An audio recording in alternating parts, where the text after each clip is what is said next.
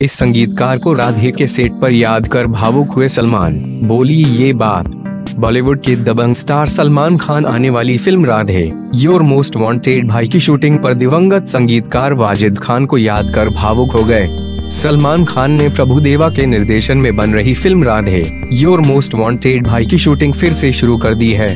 गौरतलब है कि फ़िल्म की शूटिंग कोरोना काल के दौरान बंद हो गई थी। फ़िल्म के सेट पर सलमान इमोशनल हो गए।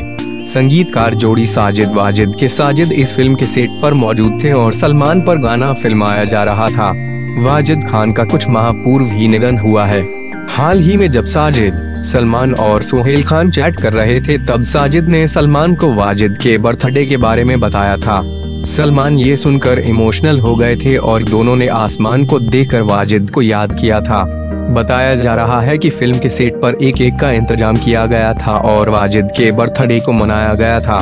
साजिद ने इस मौके पर कहा था कि, सलमान, मैंने और सोहेल ने चाँद को देखा था और हमें ऐसा महसूस हुआ था जैसे वाजिद हमें देख रहा है। साजिद ने कहा कि, सलमान ने मेरे कंधों पर अपना हाथ रखा और कहा कि वाजिद ने हमेशा हमारा साथ निभाया है।